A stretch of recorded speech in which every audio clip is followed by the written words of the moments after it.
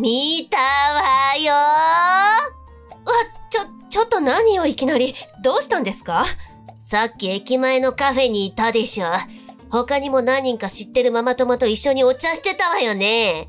そうだけど、美佐子さんもお店にいたの？テイクアウトしに行ったのよ。そしたらゆりさんたちを見つけたからさ、近くに行ってこっそり聞いちゃったそうだったんだ。ねえ、私もグアム旅行に行くわ。え？あ、そうなんだ。楽しんできてね。そういうことじゃないってば。今日話してたでしょ？みんなで行くグアム旅行が楽しみだって。私も行くから。いやいやいや、いきなり言われても困るよ。みんな前から色々計画してたんだもん。豪華な旅行なんでしょ？いいなぁ。私も絶対行きたいもん。まあ、メンバーには一応聞いてみるけど、難しいと思うよ。本当に昔から知り合いのママ友ばっかりだし、それに旅行費用も結構かかるけど大丈夫なの？一人くらい増えたって変わらないでしょ？え？だって旅行の積立金があるって言ってたじゃない。確かにそうだけど、それはオプションとかの費用だよ。豪華な旅行にしたいから、みんなでその分を積み立てしようって言ってたの。私はそこまで豪華じゃなくてもいいわ。だからさ、全体的にランク下げればいいじゃん。で、その下げた分で私の旅費払えばよくない？なんで美佐子さんの旅費を出さないといけないのよ。ええー、だってママ友じゃん。私ね、ダンスとか歌が得意だから連れて行けば超盛り上がるよ。ステージの出演料みたいなもんでさ、どうよ？いやいや、無理無理。みんなこの旅行のために、個々で貯金して、積み立てもして頑張ってきたんだもん。大丈夫だから何も大丈夫じゃないんだけど。だってさ、ゆりさんたちは裕福じゃない。いいマンションやら一戸建てに住んでさ。旅行のメンバーはみんな共働きだからね。美佐子さんも外で働けばいいじゃない。今回の旅行、正社員だけじゃなくてパートの人も参加するし。ああ、無理無理。外で働くなんて絶対無理だわ。私は楽したいのよね。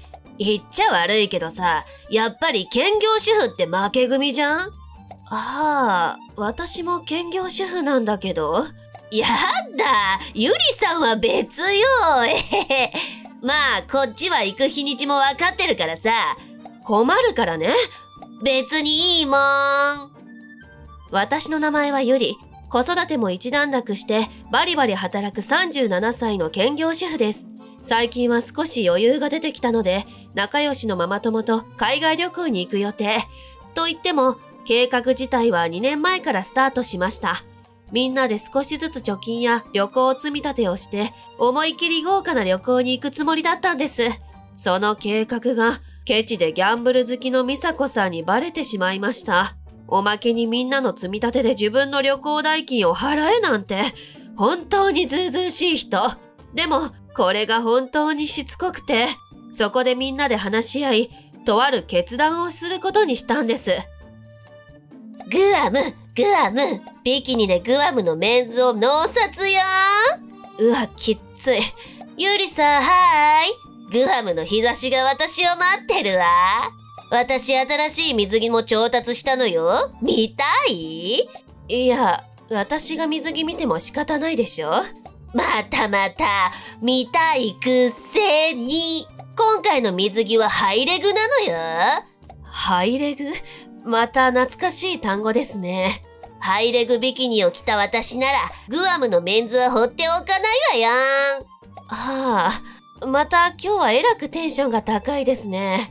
だって楽しみにしてた旅行だもの。他の家族も連れてきたのよ。空港で待ってるから、早くチケット持ってきて。私たちは今国内旅行してますよ。え？やだ、もう、冗談きついって。だってグアムに行くんでしょ？グアムに行くつもりでしたよ。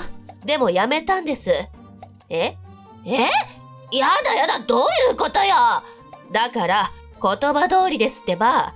たまたまお得なツアーがあるってことで、グアム旅行を計画してただけで、そもそも本来は国内の温泉旅行の予定でしたから。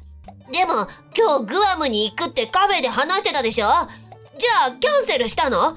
そもそも申し込んでないですよ。カフェで話してたのは、今日がツアーの申し込み最終日って話です。じゃ、じゃあどこにいるのよ？それが、ママ友が豪華な温泉旅館の割引券を当ててくれたんです。それを使って、一泊5万円の旅行に来てまーす。は、はぁもちろん全部タダになるわけじゃないけど、十分よ。グアムに行くよりも安く済むし。わ、私も行くわ。それか、せめてお金を送って。姑もタダで旅行に参加できるって連れてきちゃったから。呆れた。なんて言ったの？旅行会社のキャンペーンに当選したって。嘘ついたのね。自業自得でしょ？そもそも一緒に行こうなんて誘ってもないから。そのくらいいいじゃないあのね、みんなコツコツと貯めてきたんだよ。それを利用するなんてずうずうしいの。だってだってだってま、私たちは旅行を楽しんでくるから、あとは頑張ってね。ちょっと待ってよお気づきの方もいるかもしれませんが、彼女は最初に行く日はもう分かっていると言っていたんですよね。まだ具体的な日程の話はしていなかったので、ツアーの締め切りの日の勘違いをしていると思ったんです。そこでみんなで話し合い、急遽国内旅行に変更。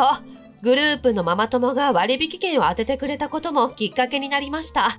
こうして私たちは豪華な旅館での旅行を満喫。グアムよりも安く済みましたし、何より美味しいご飯に綺麗な部屋に大満足。美佐子さんからの連絡はしばらくしかとしていたのですが、どうやらとんでもないことになっていました。ちょっと、慰謝料払いなさいよ慰謝料？何の？私を仲間外れにしたことよ。仲間外れ？そもそも何の仲間のこと？だって私を騙したじゃない。あのね、私たちはあなたのこと誘ってないのよ。それに、勝手に日程を勘違いしたのはそっちじゃないの。だって、せめて謝って。だから、謝る必要がないのよ。うちの姑によ。はぁ、あ、なんで私が美佐子さんのお姑さんに謝らないといけないの？無料で旅行に行けるって言っちゃってたから、騙したのかってすごく怒ってるのよ。普段からめちゃくちゃ厳しい人だから。ねえ、私が悪かったって言えばいいだけだからさ。先生も大変だね。え？え、な、なにどういうこと？美佐子さんのお姑さん、元高校教師でしょ？数学教えてた先生だよね。し、知ってるの？だって、私の元担任だもん。この間たまたま会ってね、嫁に騙されたんだって言ってたからさ、話聞いてみたら、ああ、美佐子さんのことだなって分かったのよ。ええー、もうめちゃくちゃ厳しい鬼のような先生だったよ。でも間違ったことは言わない先生だから、私、根性叩き直すって言われてるのよ。夫もすごく怒ってて、母親と同居した方がいいなんて言い出して、お願い助けていいんじゃない？しっかり叩き直されておいでよ。それに、確か兼業主婦は負け犬だって言ってたよね。専業主婦やりながら一日中先生と過ごすのもいいんじゃない？いやーいやしかし驚きました。あの鬼のように厳しい先生が、美佐子さんのお姑さんだったとは、悪い人ではないのですが、すごくスパルタなんですよね。どうやら根性を叩き直すと、無理やり同居が始まったみたいです。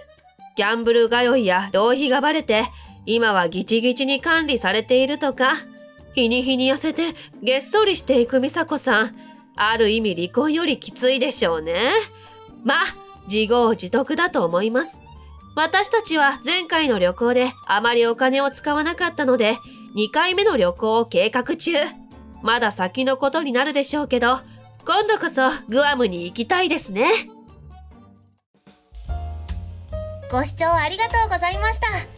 動画の評価とチャンネル登録よろしくお願いします。